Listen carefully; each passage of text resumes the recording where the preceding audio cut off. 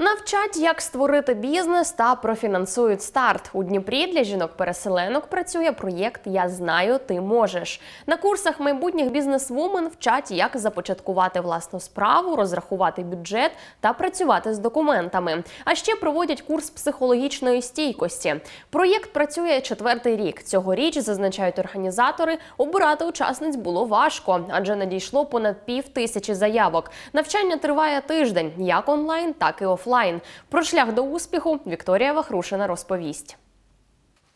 Пані Надія працює швачкою 20 років. Може і ремонтувати одяг, і підганяти під розмір, і відшивати з нуля. Сьогодні вона ледве встигає виконувати замовлення, які їй надходять, але так було не завжди. Вісім років тому вона із родиною мусила тікати від війни з Донеччини.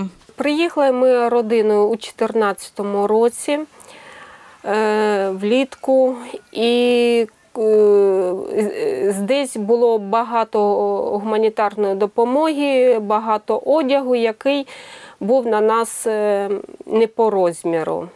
І тоді в мене виникла ідея допомогти людям.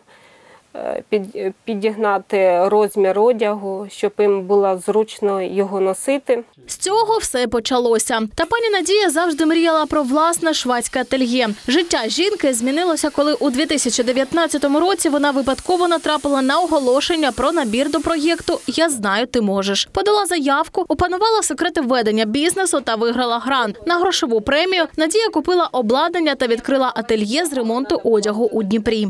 Цей проєкт, я знаю, ти зможеш. Ну, надав наснаги та сміливості. Нові знання допомогли прийняти вірне рішення і піти далі. До проєкту у мене була самозайнятість, а після проєкту я знаю, ти зможеш. Я зареєструвалася як підприємець, і це розширило мої можливості. З початку повномасштабної війни Надія була вимушена закрити ательє, але замовлення приймає надалі. Але тепер працює вдома.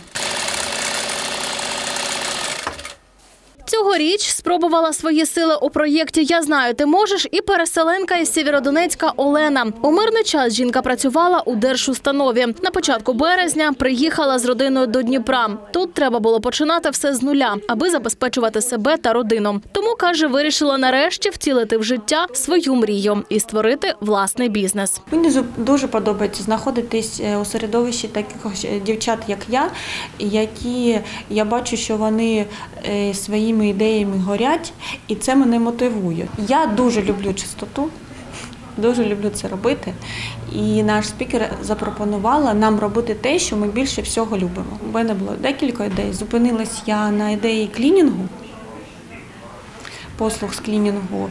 Е, Ну зараз думаю, що може буду працювати і над іншими ще ідеями. Учасниць проєкту Я знаю, ти можеш протягом тижня навчатимуть, як бути фінансово незалежними, створити бізнес, розрахувати бюджет та знайти клієнтів. А ще тут проводять курс психологічної стійкості та підтримки для жінок. Для тренерки Оксани це вже четверта група дівчат. каже, пишається своїми ученицями. Коли бачиш на виході, як, як вони пишуть бізнес-плани, коли зустрічаєшся з ними вже коли вони розпочинають свою справу і починають пригадувати про те, як все було, як вони сюди прийшли перелякані, нічого не розуміли, не знали, де вони, а де бізнес. То коли на виході ти через півроку маєш можливість з ними поспілкуватися, познайомитись, як в них просуваються справи, познайомитися з їхніми вже клієнтами, партнерами, то відповідно розумієш, що ця праця не дарма. Я знаю, ти можеш успішно працює вже четвертий рік за допомоги громадської організації Елеус Україна та сприяння Федерального міністерства справ Німеччини. Цьогоріч у Дніпрі навчатимуться, як створити власну справу 10 переселенок. На найсумлінніших чекають цікаві подарунки.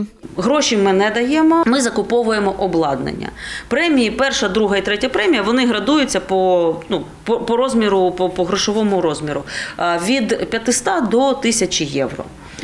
Отримають учасниці. Ну, на, на закупівлю власне обладнання або там навчання, або там що їм потрібно для відкриття бізнесу. Організатори сподіваються, після перемоги України дівчата зможуть у своїх рідних містах продовжити добру справу, яку започаткували у Дніпрі. Вікторія Вахрушина, Олег Родіонов, Віталій Правдюк, Open News, телеканал відкритий.